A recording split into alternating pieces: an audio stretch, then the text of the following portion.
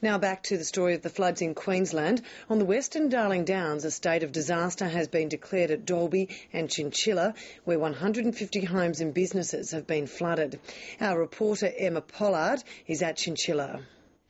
Charlie's Creek in the centre of Chinchilla has reached its highest level since 1942. That's flooded about 40 homes and businesses, especially on the northern side of town. Most of those that have been badly damaged are commercial properties.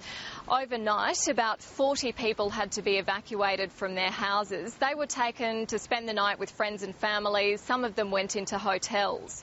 It's possible that more evacuations might have to take place today. At this stage, authorities think the creek has started to steady out. But the problem is there's more water on its way downstream. And the river that Charlie's Creek flows into is also rising, which means we have this backup of water. So at the moment, it seems as though the flood emergency is going to continue for another couple of days.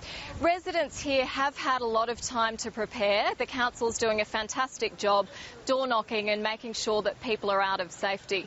But certainly there has been a lot of damage done here in town. And also on the way in, it's clear that a lot of crops are underwater and there are some rural properties that have also been isolated. So it's been an incredibly wet Christmas for these people and it looks like the dramas are only going to continue.